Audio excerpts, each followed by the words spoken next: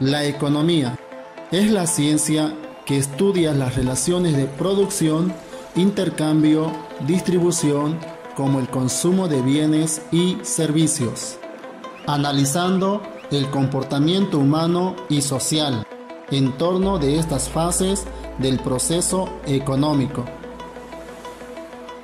La palabra economía deriva del griego oikos, casa, nomos, norma, que es igual a administración de una casa o familia.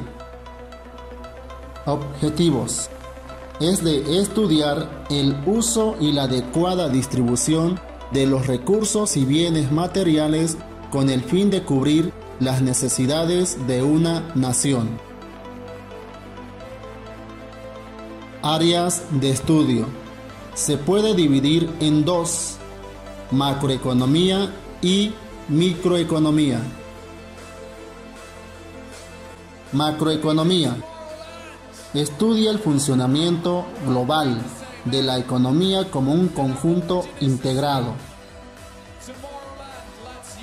Microeconomía.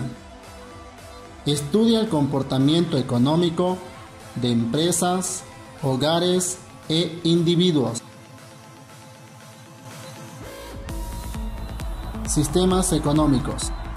Son formas de organización económica, social y política que adoptan las sociedades para resolver los problemas de cómo atender las necesidades de sus ciudadanos. Historia de los sistemas económicos. Sociedad primitiva, esclavista, feudalista, mercantilista, capitalista, socialista, comunista.